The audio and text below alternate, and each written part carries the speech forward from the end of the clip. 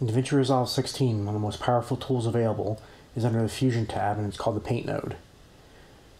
Now this has many, many different functions and different uses. You can use it to draw freehand shapes.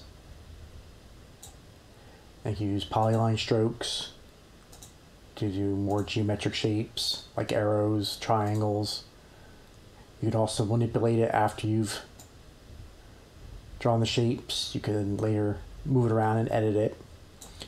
It's also has a great feature for cloning and removing objects. So if you have an object you want to remove, say like this tree here, just come down here and then use the clone paint tool and just kind of remove that. So in this video, I'll show you the basics of how to use the tool, kind of how to set it up, how to connect it, uh, best practices of when to use it, and what some of the tools in the toolbar up here are used for, and just kind of give a basic overview of the features available.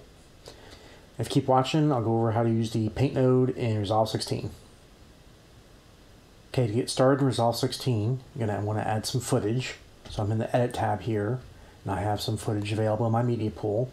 So I'll drag and drop one of these clips over, put that onto my timeline. Now there's a few different ways to get into the Fusion tab.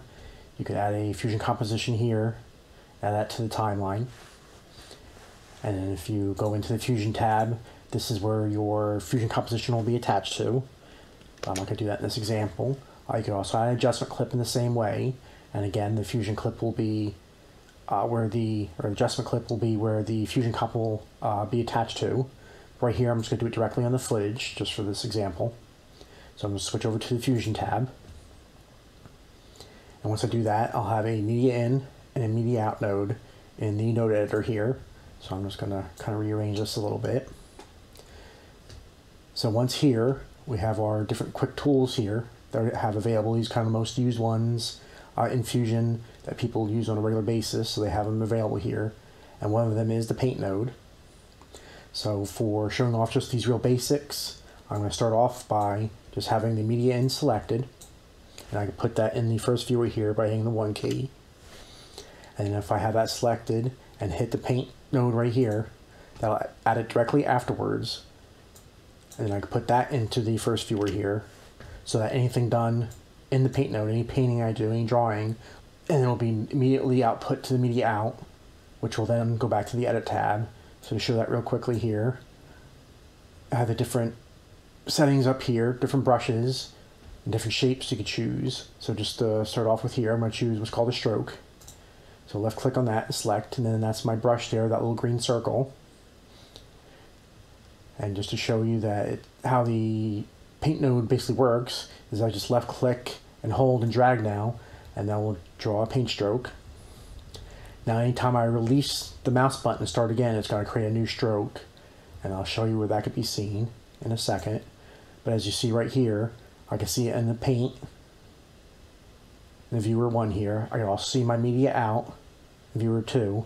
And if I go back to edit, I'll see it in my edit page as well. So go back to Fusion. Now once you create a stroke, you'll notice that over here, you'll have the modifiers now lit up instead of grayed out under the inspector for the paint. Make sure that's selected. So if I want to actually see the stroke and make some adjustments to it, I come over to modifiers and left click on that, and you'll see stroke 2 and stroke 1. But since I've only made stroke 1, it'll automatically, once you let go, start up a stroke 2. So if you try to adjust anything here, like right afterwards, it might look like nothing's changing, but that's because again it automatically creates stroke 2 but I actually haven't drawn anything yet so it won't actually be uh, on the footage and if I click up here in stroke 1 that stroke 2 will disappear because this is the actual only stroke that I've done any work with so you can see on our, on our modifiers here we have brush controls apply controls which includes different apply modes uh, where you choose the color and then down below are the stroke controls which uh, basically where you could change the settings for, say, the write on, which is basically the stroke being formed, how you drew it. So you started at one point, went around, and finished. So if I come down here under my first stroke, come down to stroke controls, write on, I can grab, grab with the left click on this endpoint here and drag that to the left. And if you look at the first viewer there, you can see that the stroke is now being basically undrawn. So that's how you can animate the drawing of the strokes is through the write on. You can also start it from the beginning here, from the left, from the start, and drag that over. Or any combination, you can kind of grab it in the middle and move it around. You can also change the size or the angle, which would be the stroke as a whole. So if I change the size here, the entire thing will grow bigger or smaller. Angle will make it rotate around the center point. You can also change the spacing here. And the bigger the spacing, it comes a bunch a series of little dots versus more of a smooth line. And up top here, you have your brush controls, so your brush shape. Now everything you can change these things before you start drawing the stroke. So if I wanted to draw another stroke, I could make all the changes first and have it appear. But you could also edit it after the fact, which is what I'm doing here with my one stroke. So I could change the size up here under brush controls, which basically varies the thickness of the stroke. So I come over here and you can see the stroke is getting bigger, getting wider. And you can also change the softness of it. So if I bring it over to the left, you'll have a very harsh edge there. You can see a little better if I grow it bigger here and change the size. That's a very distinct shape. But if I increase the softness, it kind of softens it around the edge, makes it more kind of like an airbrush. Now, if you want, just want to, if you don't want to worry about softness, instead of the soft brush here, you could just choose a circular, and then that gets rid of the softness altogether. Now, different apply modes.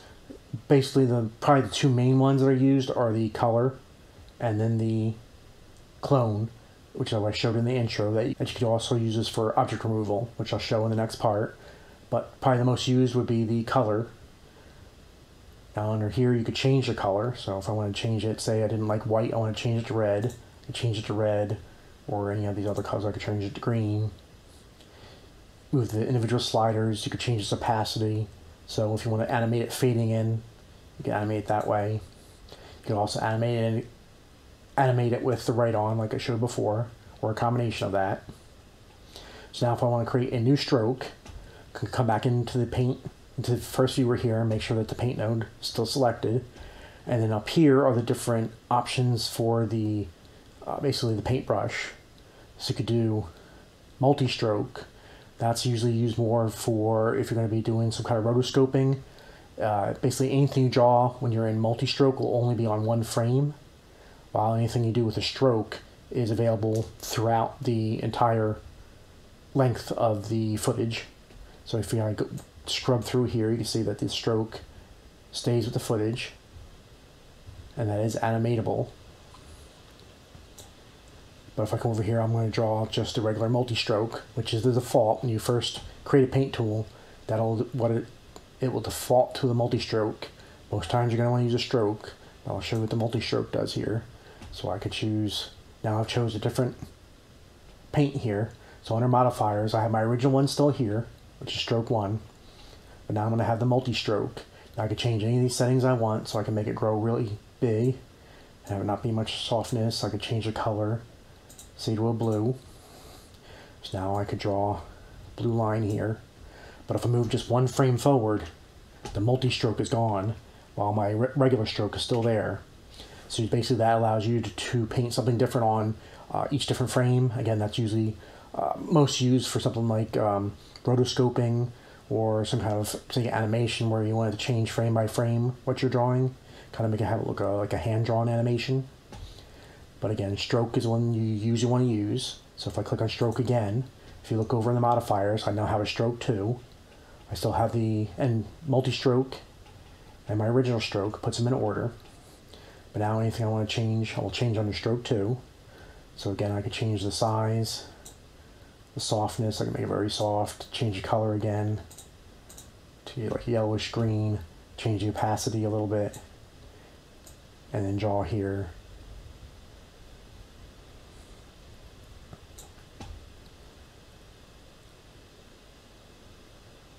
Now, next one you see here is the polyline stroke, and that actually lets you draw basically line segments connected by points. So if I choose polyline stroke, and again I can change the color. So let's look over here under the modifiers. I'm on the polyline stroke. So I could decrease the size, make a very hard edge there. Uh, change the color to more of a purple here. And then basically I want to left click and release. So I'm just be clicking points. So that creates a point. And then the next point I click on, it'll connect those two points. And I go on here, so this way I can draw squares, rectangles, uh, triangles. And if I want to finish off the shape, I just go to my original point. You'll see it turn to a little circle here. And that'll finish that one off and complete the shape. And if I later want to go on and change the shape, uh, say if I want to just change where this point is, I could select it, left click on it, and then I can alter the shape. Say here, make it more of a triangle instead of a rectangle. Now once you're in the polyline stroke, you'll notice up here you have a whole lot more options. So some of the options you have is uh, click append. So if you choose click append, that allow you to add other points along your line segments. So if I click here and choose that, I click any point in the middle here, that added another point, and I can modify that. Now I'll change the shape. I have the ability to draw append, which instead of doing individual points, I'll actually be draw like a stroke like I did with the paint stroke, but it'll be made up of multiple different points. I have the insert and modify, which again is kind of the same thing here. Click on that. I can insert a point and move that around. I can modify other points. That's usually kind of what you want to use after you first draw your shape if you want to kind of refine it. Modify only now that's very handy if you want to, if you don't want to accidentally create a new point, but you do want to change the existing points. By choosing this, I can grab and move another point, but if I click anywhere on the line, it won't create a new point. And if I lose my selection here, I can just left click, hold and drag a box, do a box selection, and then I'll select that point, and then I can move it around again. Here, basically with the done button here, if you draw a line segment and didn't want to finish it off and create a enclosed shape, I can demonstrate that here. So here I'll just click two points. Now if I don't want to finish the shape off, if I come up here and click on done, then it'll finish that. So then if I click any place else, it won't try to finish the shape. And I'll just have these two points here, which I can highlight and move around here. You also have the close the polyline here. So that way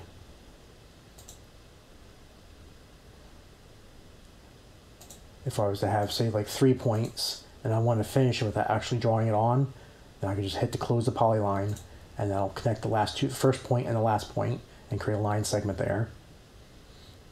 Next one here is basically there's two different ones that go together, either smooth or linear. That way, if you make one of these shapes, uh, anything with the polyline, if you want it to be more of a, a curved edge rather than a straight edge, you can use these two different functions here. See if I come over here, select on this point right here, and have it selected. If I choose curve here, that'll smooth it out, or I could go back to linear, and I'll make it a sharp edge, sharp crease. So you can do that with any point, and change it from a smooth curve to more of a straight point here. You also have select all points. If you want to select all points of a shape here, you click on that. That'll select all the points. And then say if you want to move the shape around, then you can click on one of them and it'll move the entire shape, all the points at one time. That way you can kind of position it.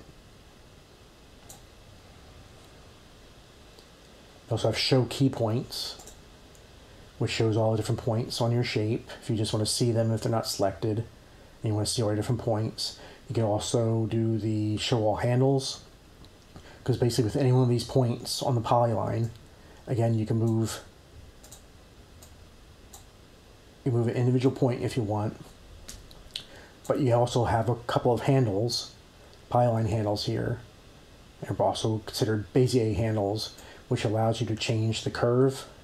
So here I could drag this left handle here and change the bottom part here, or I could grab this other handle and change the top part here. They also kind of go together, but that kind of allows you to refine the curve coming in and out of a point you could you could create a shape box. So if you want to move and change the shape of uh, multiple points at one time, here I can select select the points here, move this in a little bit, make sure these points are selected. And if I do a shape box, creates a little dotted box around here, and that way I can change the whole shape.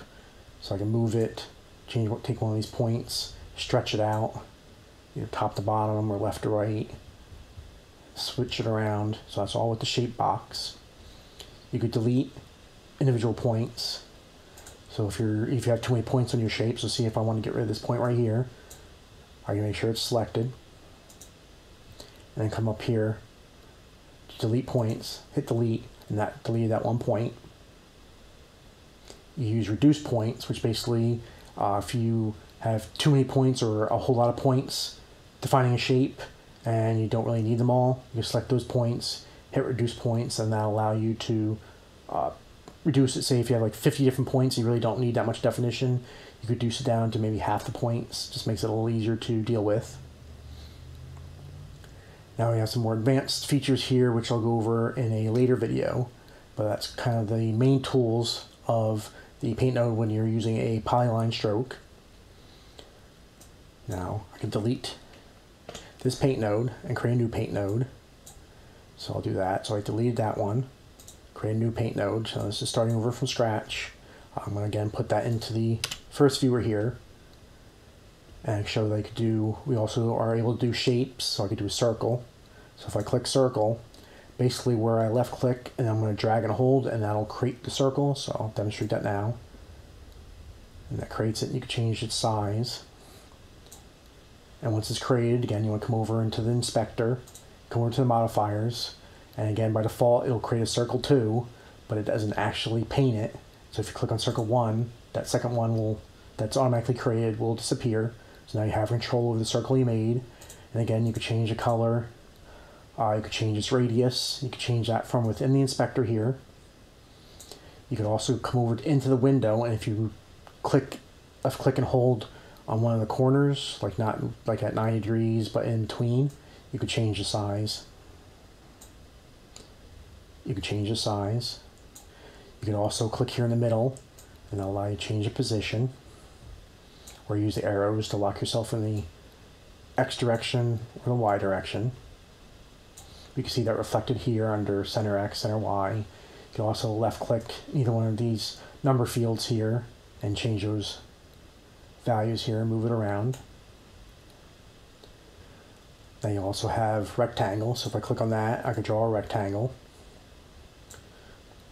Again, you see here, it automatically created rectangle too, but I don't need that because I just created rectangle one, so I'll click on that. And again, I could change the color if I want. Now the rectangle, you have both the center, but then you have the height and width as well.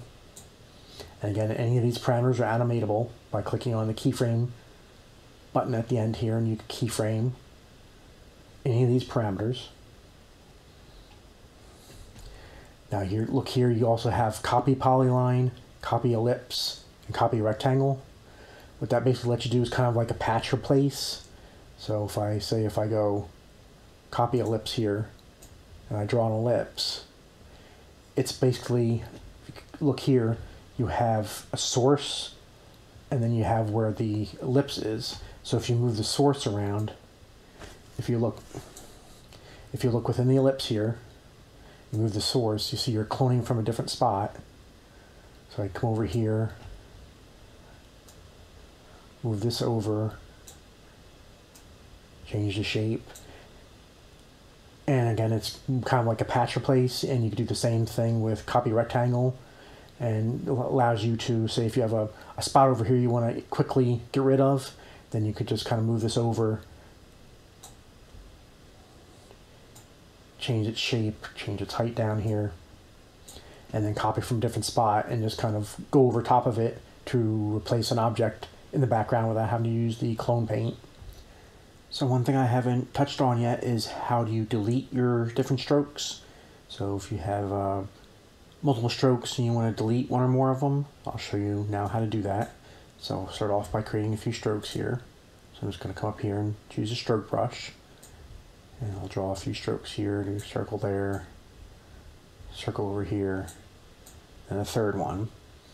Now if I want to delete any three of these, I'll do the same thing, make sure that my paint node is selected. Come over to modifiers. This will list all my different strokes. And like I showed before, you'll have that one extra stroke that you haven't started yet. So I click on any of these previous ones, that one will automatically disappear, but now I have three different strokes. So it's really easy to delete any one of them. Say if I want to delete the third stroke here, this last stroke I didn't like, just click on it, that selects it, hit the delete key, and I'll delete that stroke. So if you're going along, if you're trying to trace something and it doesn't come out quite right, then just come over to your inspector, to your modifiers, choose the stroke you want to delete, and delete it. Now if you just want to temporarily disable it, if you just click on the button here, that'll click temporarily disable it. But to delete it, just click on it, hit the delete key, and that deletes that stroke. Okay, one of the other ways you can use the paint node is combined with a background node. Start with the background node. Now you can't use the paint node pretty much just by itself. It has to be have some kind of input. So before I was using the media in as an input, but you could also use a background.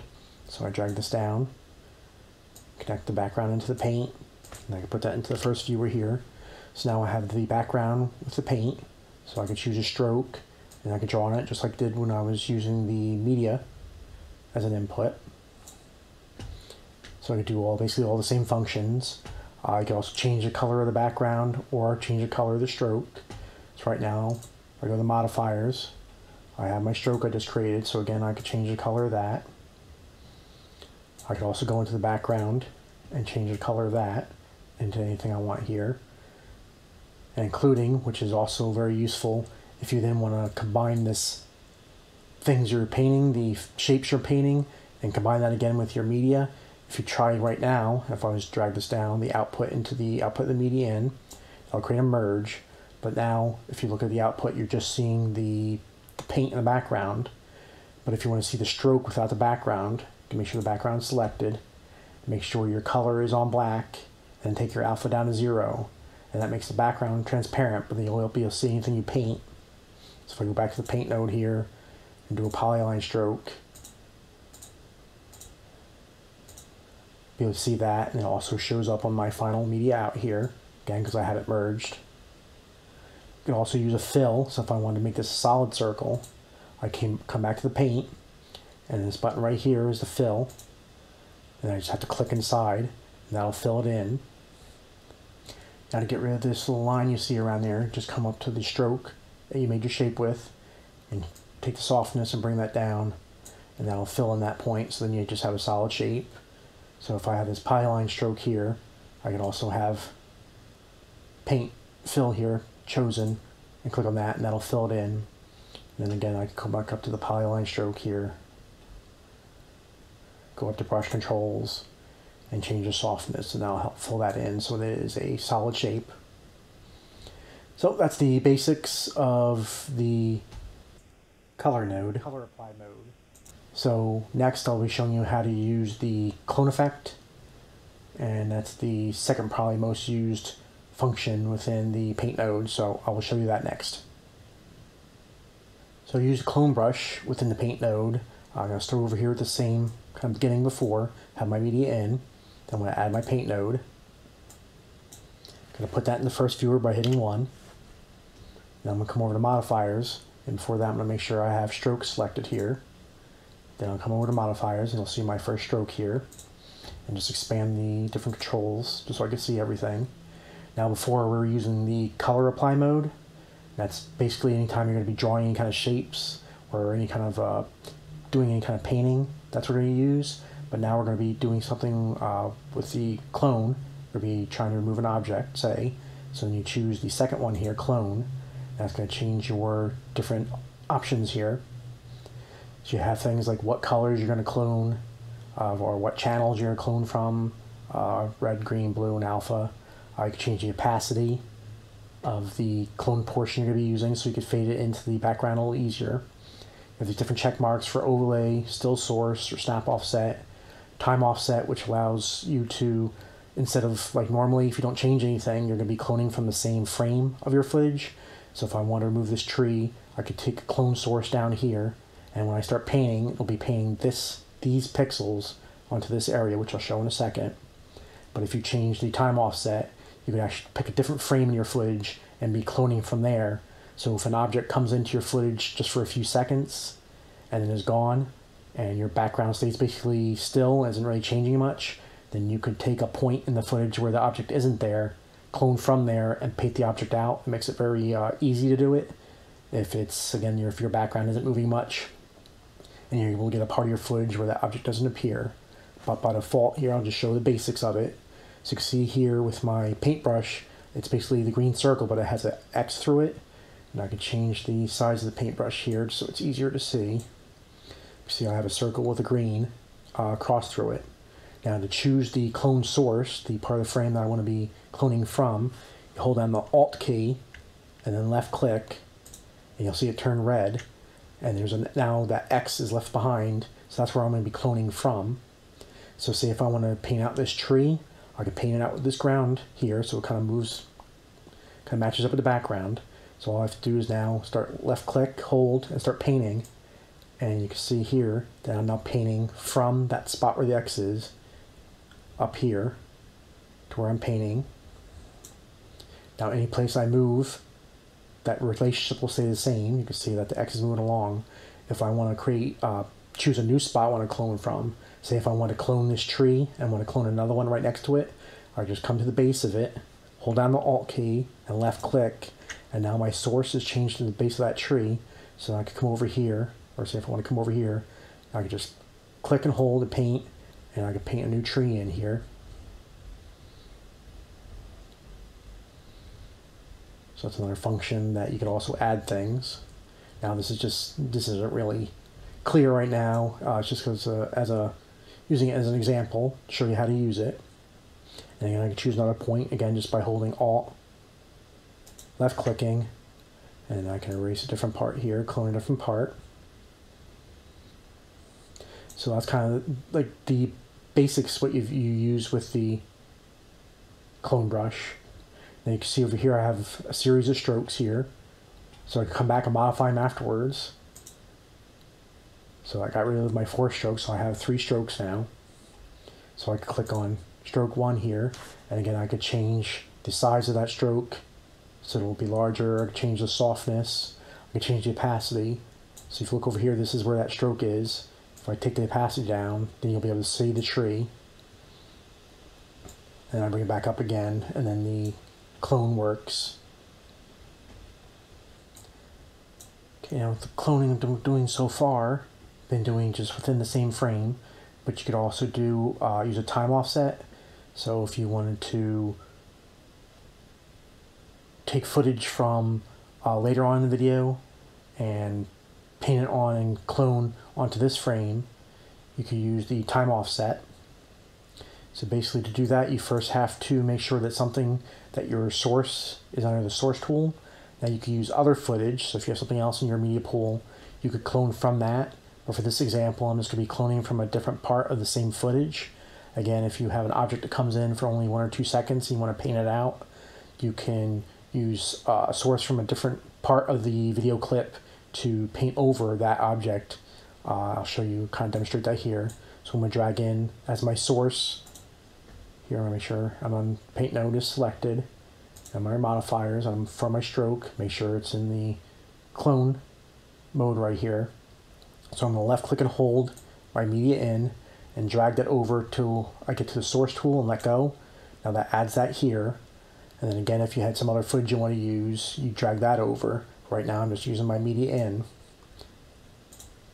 And keep on clicking over there. So, so you're going to change the time offset. Now if I come forward in the footage here to around frame 350, you can see that there's this path here instead of just the sand that's you could see earlier. Here when I pan over, it's just from away from that sand over to this little path. So if I come to the beginning of my footage here, if I change my offset here, time offset, to frame 350, now when I change, take my clone source, it's going to be from frame 350, not this first frame here. And I'll make the brush larger here so you can see that. So I'm going to come right from the bottom here. I'm going to hold the Alt key, that's the same, and left click. That chose my source, but my source isn't from this frame, it's going to be frame 350. Then you'll notice that once I start painting here, left click paint, it's now pulling from frame 350 instead of this frame. So if you look over into my media out there, you see it's painting on that path other than the sand. So that's from paint, that's from frame 350. I could paint all over this. But again, that's to, to remove an object. You can see now that my clone source is coming from a later on, a frame later on. But I'm applying it to this frame here. So you do that again from putting your footage into the source tool and changing your time offset. And I could change this to whatever one I want and then start cloning again and can paint that out. You could also use a still source, kind of the same thing, except now when I'm moving it, if I move through, you'll see that it moves through and it changes the background and what I cloned over in the original frame. But you just choose a still frame from there so I could change that up. So if I just wanted to do uh, some of this lake footage here, I could drag that on and just show it in the first frame here. That's just footage of a lake. So I go back to this. I could change, choose this as my footage instead of my original media in here. So I'm going to create a new stroke here for my modifiers.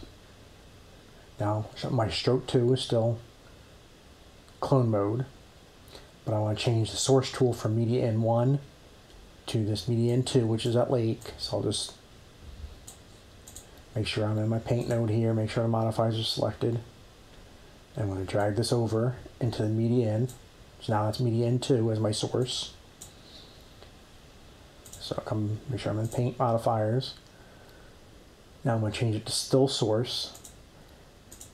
And I can just change it to whatever frame I want. Choose frame 10. Now it's going to take frame 10 from my media in to here. I could go to frame 10 here.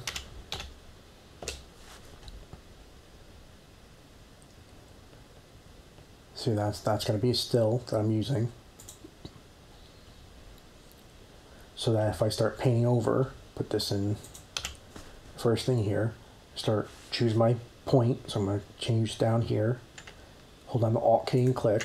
That's my new point. Now when I'm painting, I'm going to be painting from media in 2. And I can make my brush quite a bit bigger here. Under modifiers. Change my brush pretty large.